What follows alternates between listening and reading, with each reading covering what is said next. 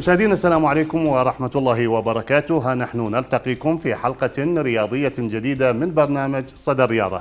آه، اليوم ومن خلال فقرات البرنامج سنتوقف مع آه، أحداث رياضية محلية وعالمية. سنكرس معظم الوقت مع المحور الرئيس وهو استقالات وإقالات المدربين التي ضربت الدوري العراقي الممتاز لكرة القدم. يا ترى ما هي الأسباب وراء إقالة واستقالة المدربين بهذه الطريقة؟ ومن المسؤول عن هذا التخبط والتقاطع في العمل ما بين المدرب وإدارة النادي؟ هذا المحور وقضايا أخرى متعلقة بالأمر سنطرحها هذا اليوم. صدى الرياضة بدأ. أهلا بكم معنا.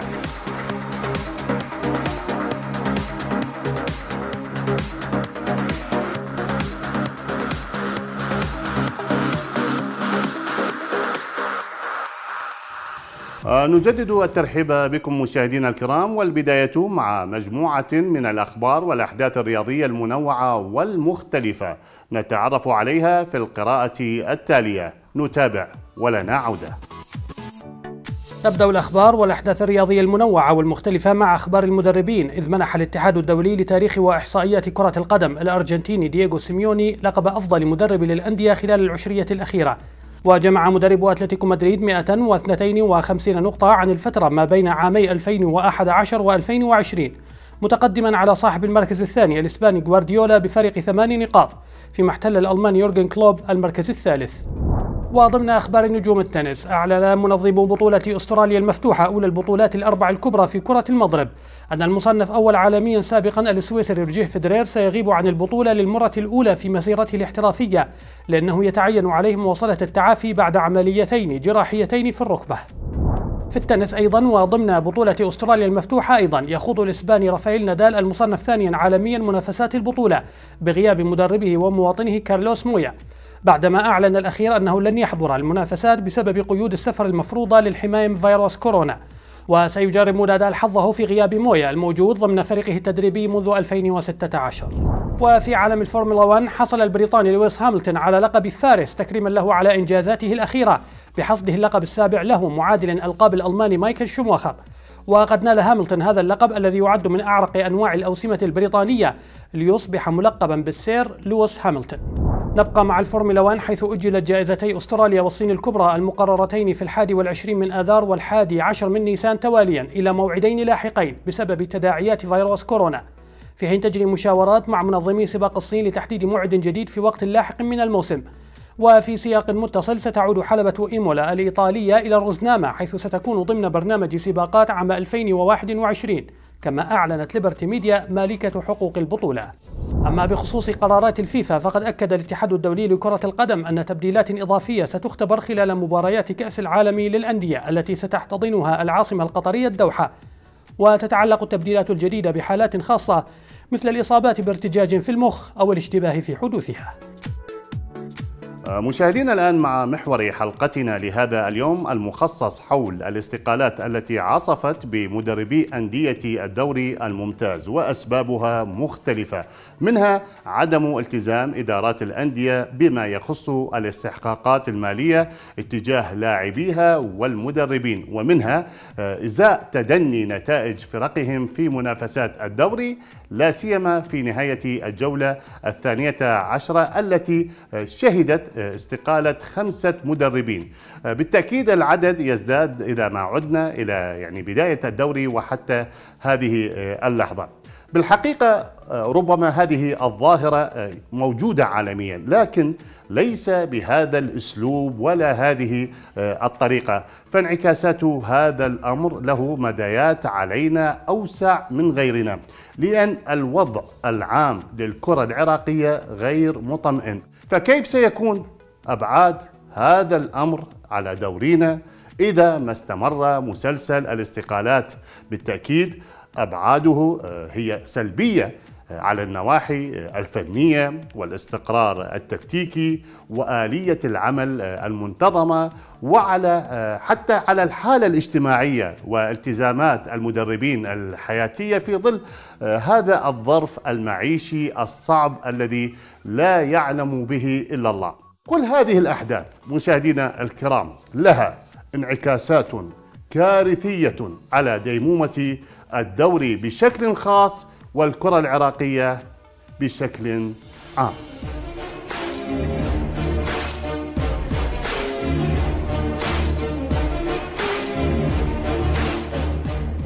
متواصلون بمحورنا هذا عن الإقالات والاستقالات التي عصفت بمدربي أندية الدوري الممتاز في هذا الموسم. سنتوقف الآن مع آراء بعض المعنيين بالشأن الكروي حول هذا الأمر. سنتابع ولنا عودة. تغيير المدربين ظاهرة غير صحية تشهدها الكرة العراقية خلال الآونة الأخيرة. آه، بعض المدربين وقعوا ضحية لقرارات الإدارات وبعض الإدارات لم يكن اختيارها موفقا للمدربين. وهذا التغيير المستمر بالمدربين يؤدي إلى عدم وجود استقرار بالكرة العراقية ويؤثر على المنتخب المنتخبات الوطنية جميعها في المستقبل.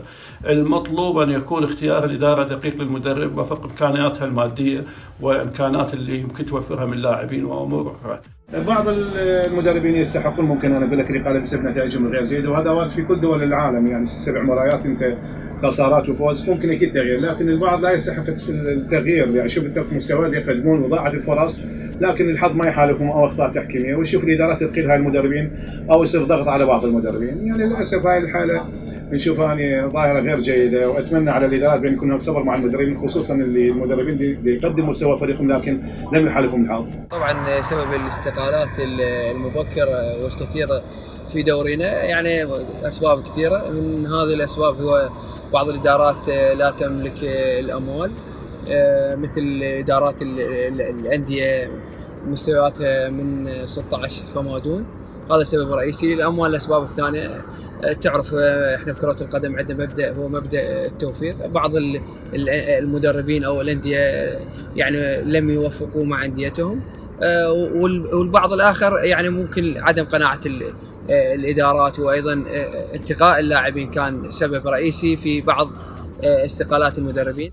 آه، مشاهدينا فاصل قصير. نكمل بعده محور صدى الرياضة لهذا اليوم. خليكم ويانا.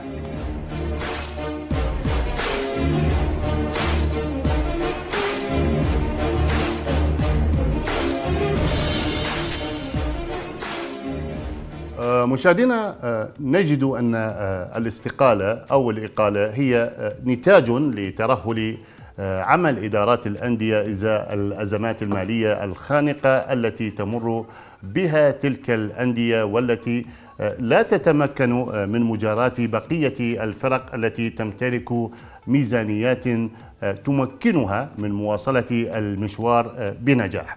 تفاصيل أكثر لهذه القضية في سياق التقرير التالي. نتابع ولنا عوده اثنتا عشرة جولة فقط من منافسات الدوري تكفلت بالإطاحة برؤوس تسعة مدربين ولا نعرف ما تخبئه الأيام القادمة من مفاجآت قد تطيح بماراثون الدوري برمته إزاء تلك الأحداث.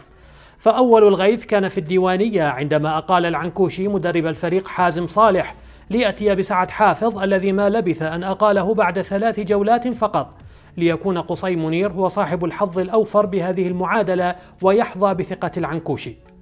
نادي الشرطة صاحب أكبر ميزانية في الدوري العراقي لم يقف مكتوف الأيدي أمام تدني نتائج فريقه المتخم بالنجوم ليقيل هو الآخر مدربه عبد الغني شهد ويأتي بمدربه السابق ألكسندر أليتش. بينما أقال نادي السماوة مدربه غالب عبد الحسين وسمى شاكر محمود بديلا عنه في خضم موجة الإقالات والاستقالات التي أفرزتها النتائج المتواضعة. في الوقت الذي تطرق مسامعنا أنباء عن جملة إقالات خلف الكواليس سيعلن عنها في قادم الأيام. وما إن بلغ دورنا الجولة الثانية عشرة ضربت ماراثونه عاصفة مدوية مفادها استقالة خمسة مدربين مرة واحدة عندما كانت البداية من الزوراء الذي وصل مع جنراله باسم قاسم إلى طريق مسدود بعد أن أخفق الفريق في تحقيق الفوز ثلاث مرات فقط بينما كان التعادل حاضرا سبع مرات فضلا عن هزيمة واحدة. ليكون الطلبة على موعد مع استقالة مدربه أحمد خلف فيما لوح مدرب النجف حسن أحمد أكثر من مرة لكنه اتخذ قراره بالابتعاد رغم نتائجه المتميزة. وكان للنفط حظ من تلك الاستقالات عندما أعلنها مدربه يحيى علوان وترك الفريق المثقل بالهزائم على عكس المواسم السابقة ليكون القاسم آخر من أعلن استقالة مدربه جاسم جابر على غرار سابقيه. تساؤل دائم ما يراود الشارع الرياضي لماذا يكون المدرب الحلقة الأضعف في المعادلة الرياضية دائما؟ الجواب انتظرناه منذ عقود من الزمن ولم يطرق مسامعنا حتى اللحظة. والسبب يتعلق بغياب قانون حماية المدربين الذين باتوا بدون أي حصانة تجعلهم يمارسون مهنتهم التي لا يملكون سواها بكل أمان. فإذا ما استمر مسلسل الاستقالات سيكون دورينا في مهب الريح لا محال. آه، مشاهدينا وللحديث عن هذا المحور سينضم معنا عبر السكايب من بغداد مدرب فريق النجف السابق الكابتن القدير حسن أحمد للحديث عن هذه العاصفة التي ضربت بدورنا والتي كان نتاجها استقاله عدد من المدربين. فاهلا وسهلا بك كابتن حسن وسعداء بانضمامك إلينا في صدى الرياضه. بسم الله الرحمن الرحيم بداية أرحب بك أستاذ بلال ومشتاق لك يمكن صار فترة طويلة إحنا ما ملتقين وخصوصا برنامجك صدى الرياضة. بصراحة أنا من مشتاق لك والله وسعيد دائما أسمع أخبارك الطيبة وهي فرصة سعيدة اليوم هم نلتقي بك كابتن حسن يعني من خلال آه، محور آه، الحلقة آه، تكلمنا يعني عن استقالة المدربين وحضرتك واحد منهم. لنبدأ من لحظة اتخاذك قرار الاستقالة. هل كان هذا القرار يعني ارتجاليا أم مدروسا؟ بسم الله الرحمن الرحيم. يعني الكل يعرف أنه حسن أحمد بكل نادي يعمل يعني يبقى مستقر موسم أو موسمين ومع النفط كانت هناك أربع مواسم متواصلة مع نادي النفط. أكيد هذا يدل على على أنه يعني العمل بدراسة وبمنهجية وبتأسيس إلى بناء فريق صحيح. آه، حقيقة يعني آه، الحمد لله أنا على طول يعني ما أعمل بردات الأفعال، على طول أعمل بشكل يعني متأني وأخذ الأمور بدراسة وبعدين أتخذ قراري وقراري على طول يكون صائب من خلال عدم الاستعجال باتخاذ القرار. آه، استقالتي يمكن أكثر من مرة أني يعني قدمت استقالتي لكن حب الجمهور النجفي إلي وحب اللاعبين يمكن اثناني عن الاستقالة الأولى. لكن الاستقالة الثانية اللي هي أنا قلت ما بيها رجعة من خلال يعني تراكم السلبيات وتراكم الأمور يعني وعدم يعني عدم إجادة بعض إداريين النادي يعني متطلبات الفريق. تدري أنت حقق نتائج جيدة من لا شيء. يعني فريق نادي النجف الآن يعني ميزانيته خاوية من خلال تدري انت توقف المطار بسبب آه، وباء كورونا. يعني هو الراعي الرسمي لفريق النجف. فانقطعت الأموال. يعني صاب النادي شلل كبير. يعني بعض المستلزمات اللي يحتاجها الفريق البسيطة بالغير متوفرة. إضافة إلى اللاعبين اللي تعاقدنا وياهم. يعني لاعبين كلهم يعني نقول من فئة ثالث من فئة ثالثة 10 لاعبين من الفرق الشعبية استخدمناهم لأن تدري أنت الفريق ما الإدارة ما باستطاعتها يعني التعاقد مع لاعبين يعني سوبر أو لاعبين يعني عقودهم نقول كبيرة. امام هذا إحنا عملنا واشتغلنا والحمد لله قدمنا فريق جيد وشهادة جميع يعني النقاد جميع الاستوديوهات التحليلية اللي يمكن آه، أطلقوا على نادي النجف حصان الأسود بالبطولة واعتبروه من أفضل فرق البطولة لأن يؤدي أسلوب بلاعبين شباب غير معروفين وقدم آه، لمحات فنية وقدم أسلوب خاص بالدوري العراقي. يمكن أول مرة ننتجه هذا الأسلوب وهذا التشكيل اللي هو 3 4 3 ونجحنا به. يعني بالجانب الدفاعي إحنا 10 مباريات علينا هدف واحد.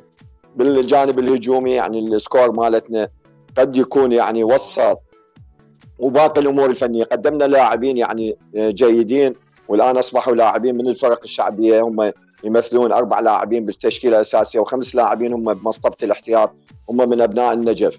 وهي أول مرة يمكن تحدث منذ سنوات طويلة. نادي النجف بسياسة حسن أحمد بدأ يعتمد على لاعبين نقول لاعبين طيب. المحافظة. وانت تتحدث عن الإدارة كابتن حسن. يعني بالنسبة لك يعني آه، عن حقوقك مع مع مع النادي هل تمت تسوية الموضوع؟ يعني بالتراضي لحد الآن يعني آه، الموضوع بقى متعلق. لا لحد الآن بقى متعلق لأن أنا أنا تقريبا أطلب يعني خمس رواتب وأطلب تقريبا نص 50% من الدفعة الأولى اللي هي يعني 35 من العقد. نعم. طيب كابتن حسن ابقى معنا. سنتابع معا استطلاعا لآراء من أهل الشأن. يعني اعربوا من خلالها عن مسلسل استقالات المدربين وهذه الظاهرة غير الصحية. نتابع كابتن حسن ولنا عوده أتمنى إن شاء الله بالوقت القريب أنهم نقلل من هذه الظاهرة خصوصا أخواني الموجودين في الهيئات الإدارية أنه أنا اليوم آه، تم تسميه مدرب الفريق سينا. أنا أظل على طول الموسم.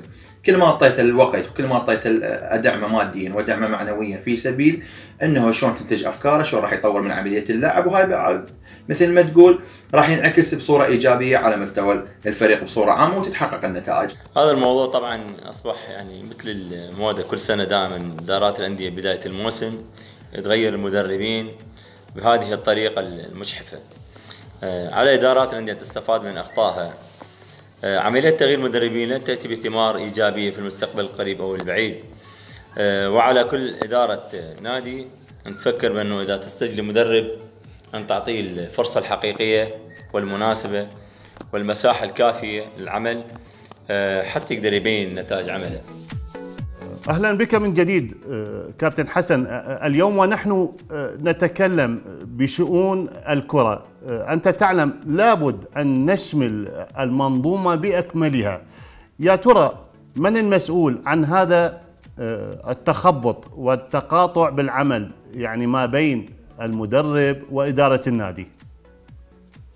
والله أستاذ بلال يعني أنت تعرف إدارة النادي يعني المفروض يكون عندها تخطيط يكون عندها يعني أنا ما أتكلم عن إدارة النجف، إدارة النجف فيها ناس جيدين يعملون لكن نقص الأموال يعني خلاهم بهذا الوضع. أما بالنسبة لل يعني آه، آه، باقي الإدارات يعني أكيد يعني هو أنت من تخفق بجانب أكيد هي الإدارة لأن هذا جانب إداري.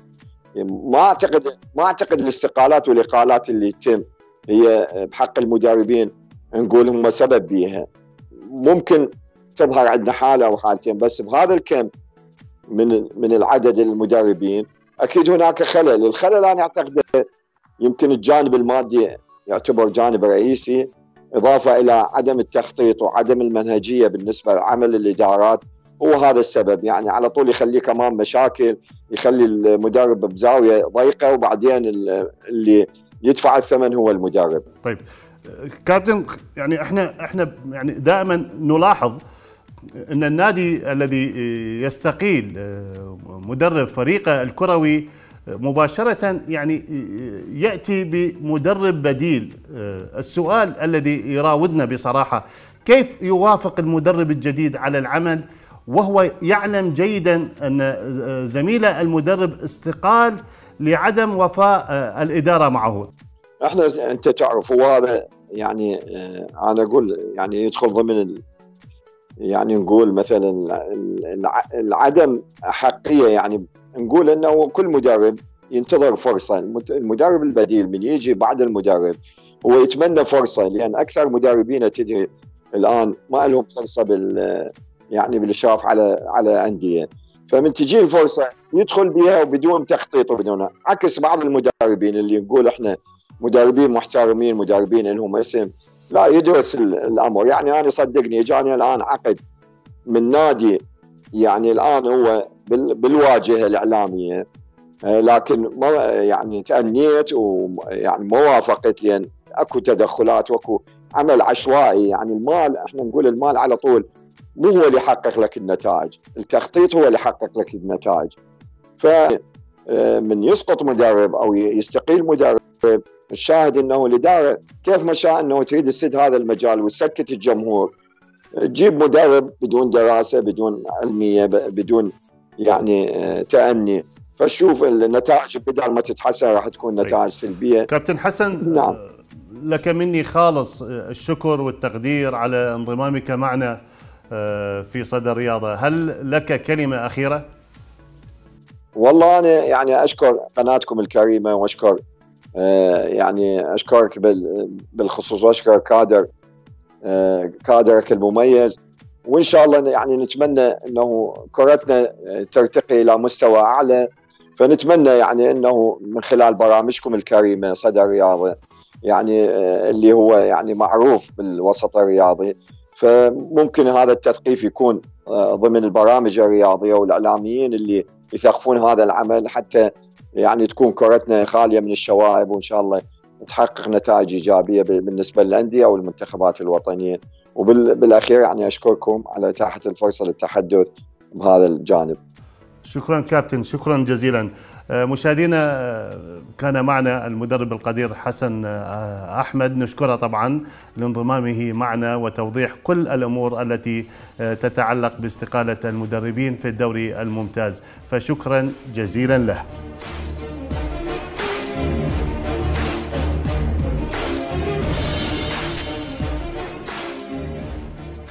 جمهورنا الرياضي هذه مجموعة من الأخبار الرياضية المنوعة والسريعة سنتعرف عليها في الوقفة التالية من خلال فقرة دقيقة ونص. خليكم ويانا.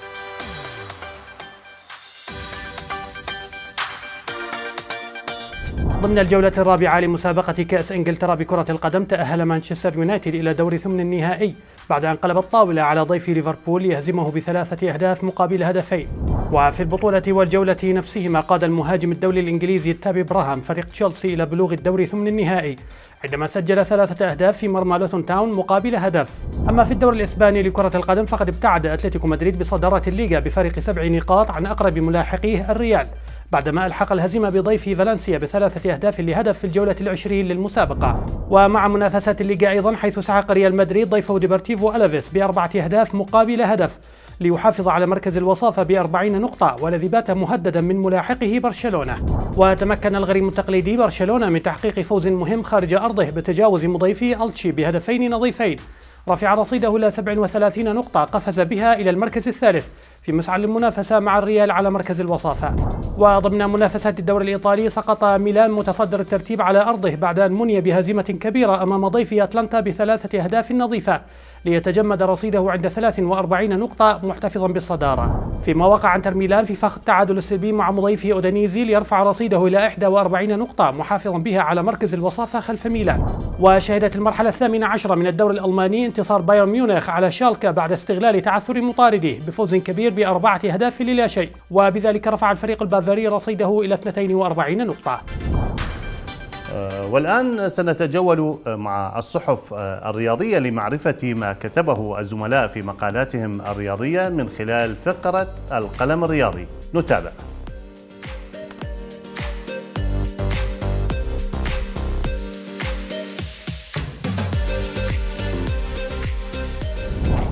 كتب الزميل قاسم حسون الدراجي في صحيفة الحقيقة مقالا بعنوان وتستمر الإطاحة بالمدربين جاء فيه.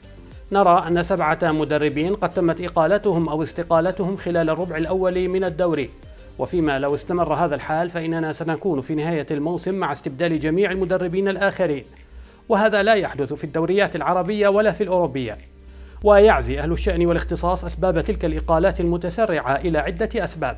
أهمها الضغط الجماهيري على إدارات الأندية أو على المدرب ذاته. أو ضغط الجهات الحكومية المشرفة على النادي سواء كانت وزارة أو هيئة أو مؤسسة أخرى. وهي تدخلات مرفوضة جملة وتفصيلا لكونها تعد تجاوزا على سيادة الإدارة وحرية العمل والاختيار. كما كتب الزميل سمير السعد في صحيفة المشرق مقالا بعنوان دور الكرة مواهب بالانتظار. جاء فيه نرى بوضوح أننا أمام مرحلة مستقبلية واعدة وهو الأمر الذي يتفق مع تطلعات الساحرة العراقية وما تطالب به الجماهير الرياضية.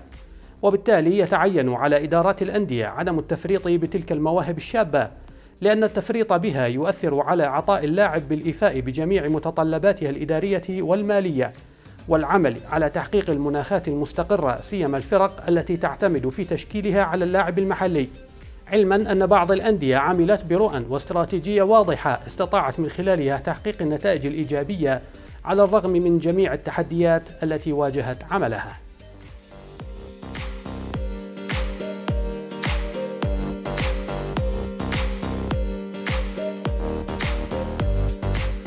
مشاهدينا اذا هكذا شهدنا زوبعة من الاستقالات التي ضربت دورينا الكروي. وهذا يدل على التخبط والفوضى والتقاطعات بالعمل ما بين المدرب وإدارة النادي، بالتالي يعني لا يوجد قانونا لحماية المدربين ولا توجد أصلا رقابة صارمة من قبل الجهات المسؤولة عن اللعبة. من أجل على أقل تقدير وضع حد لهذا السيناريو المستمر الذي آه، للأسف لابد أن يكون له انعكاس سلبي على ديمومة واستقرار الدوري من جهة والكرة العراقية على وجه العموم. لا نعلم ما تخبئه الأيام المقبلة آه، من مفاجآت آه، إزاء تلك الأحداث والقرارات غير المدروسة والصحيحة. على الموعد نلقاكم بإذن الله، هذه تحياتي بلال بداع مع السلامة.